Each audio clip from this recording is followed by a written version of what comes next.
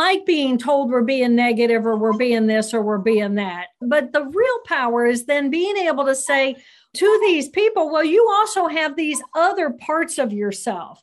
And if for some reason we get routinized in certain circuitry because that's how we interact with the world, well, are we truly using our whole brain?